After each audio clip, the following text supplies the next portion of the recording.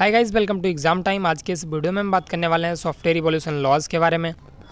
तीन टाइप के software evolution laws होते हैं S type P type and E type तीनों के बारे में हम डिटेल से जानेंगे। उससे पहले आप लोगों को सॉफ्टवेयर इवोल्यूशन लॉज के बारे में बता दें। तो दोस्तों बेसिकली एक साइंटिस्ट थे मैनी लेहमन तो दोस्तों, इन्होंने जो है वो तीन डिफरेंट कैटेगरीज में सॉफ्टवेयर को बांटा था।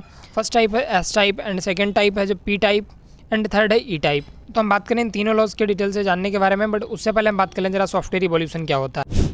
तो basically software evolution refers to the process of developing software to meet changing requirements and environments over time तो क्या होता है, कोई भी एक सॉफ्टवेयर बनता है तो उस टाइम जब बनता है तो उस टाइम की नीड के अकॉर्डिंग बनता है। बट क्या होता है कि टाइम टाइम पर हमारा नीड जो है वो चेंज होता रहता है एंड आगे और ज़रूरतें बढ़ती जाती हैं। तो रिक्वायरमेंट्स के हिसाब से उसमें और भी कुछ चेंज वगैरह करने पड़ते हैं। तो यही सॉफ्टवेयर रिवोल्यूशन कहलाता है। एंड सॉफ्टवेयर रिवोल्यूशन के बारे में अगर तुम डिटेल से जानना चाहते हो तो फिर चैनल पर वीडियो मिल जाएगा। ना अब हम आते हैं सॉफ्टवेयर रिवोल्यूशन लॉज पे। तो पहला लॉ जो है वो है स्टैटिक टाइप अब स्टैटिक टाइप में क्या होता है कि दिस इज़ अ सॉफ्टवेयर इसमें कैसे सॉफ्टवेयर आते हैं? This is a software which work strictly according to defined specification and solution इसमें जो है इसका स्पेसिफिकेशन एंड इसके सॉल्यूशन जो है वो पहले से ही डिफाइंड रहते हैं, ठीक है? The solution and the method to achieve it बहुत और immediately understood before coding software क्या है? उसको पहले से ही पता होता है कि क्या इसका आउटपुट रहने वाला है। उसमें जो है वो चीज़ें पहले से ही फिक्स रहती हैं। The S type software is least subjected to change hence this is the simplest of all ये जो है, वो सबसे सिंपल सॉफ्टवेयर होता है और इसमें चेंज के गुंजाइश जो होती है, बहुत ही कम होती है।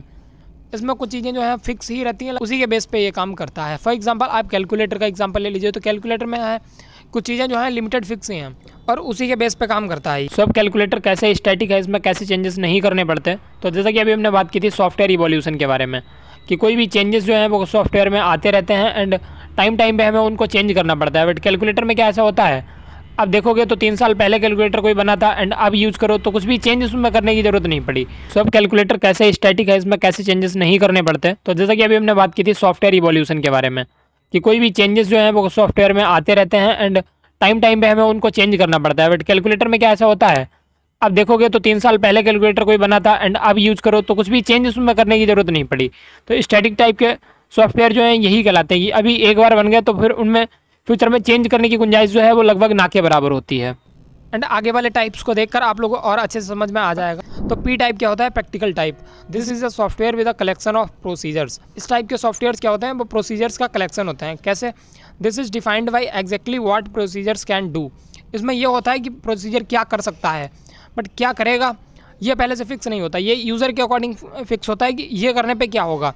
In this software the specification can be described but the solution is not obvious instantly calculator में जो हमारा फिक्स होता था आउटपुट इतना आना है। बट प्रैक्टिकल टाइम में क्या है कि हमने इंस्ट्रक्शंस तो दे दिए कि ये करने पे ये होगा। बट यूज़र क्या कर बैठेगा एंड किस टाइप का आउटपुट आएगा, ये बनाने वाले को नहीं पता है। अब इसका एग्जांपल आप ले सकते हो गेमिंग सॉफ्टवेयर गेमिंग अब गेमिंग सॉफ्टवेयर है, कौन सा यूज़र किस टाइप से गेम खेलेगा? इसके लिए इंस्ट्रक्शन देके ही हम काम चला सकते हैं, कोई फिक्स नहीं है कि हमारे बस इतने लिमिटेड ही आउटपुट आने वाले हैं। हमारा थर्ड टाइप होता है E type embedded type embedded type क्या होगा this software works closely at the requirement of real world environment this software has a high degree of evolution as there are various changes in laws taxes etcetera embedded type के software में क्या होता है कि ये जो है वो रियल वर्ल्ड बेस्ड होते हैं। फॉर एग्ज़ाम्पल आप इसमें ले सकते हो online trading software and online trading software का अगर एग्ज़ाम्पल लो तो इसमें किसी को पता ही नहीं है कि ग्राफ कहाँ जाने वाला है तो ये रियल वर्ल्ड के अकॉर्डिंग जो है खुद को चेंज करते रहते हैं, उनका क्या आउटपुट रहने वाला है, वो रियल वर्ल्ड के अकॉर्डिंग ही चेंज होता रहता है। इंस्ट्रक्शंस के हिसाब से इसमें कुछ भी फिक्स नहीं होता है कि हमारा इतना फिक्स रहेगा। तो सॉफ्टवेयर रिवोल्यूशन लॉज में तीन टाइप के सॉफ्टवेयर थे आपके static type practical type and embedded type फिर से एक बार इनका क्विक रिवीजन कर लेते स्टैटिक टाइप हो गया आपका कैलकुलेटर वाला, जिसमें सब कुछ फिक्स रहता है एंड उसमें कुछ भी चेंज नहीं होना है। एंड ये जो है, वो बहुत ज़्यादा सिंपल होता है।